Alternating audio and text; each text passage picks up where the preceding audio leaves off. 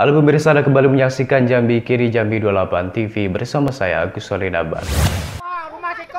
Dua unit rumah panggung yang berada di kawasan Danau Sipin di RT 23 Kota Jambi hangus terbakar pada Jumat malam 19 Juli 2019.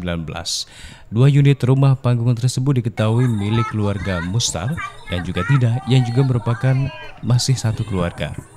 Menurut informasi bahwa kebakaran terjadi pada pukul 20.30 waktu Indonesia bagian Barat, api dengan begitu cepat menghanguskan seluruh bangunan rumah panggung tersebut.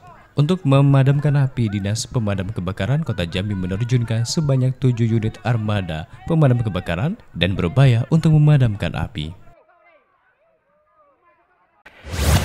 Demikian informasi terkini yang dapat kami sampaikan untuk Anda dan terus berbahagia informasi Anda dengan mengakses berita-berita kami di jambi28.tv terkini terpercaya. Terima kasih untuk kebersamaan Anda. Saya Agus Soledaba. Sampai jumpa.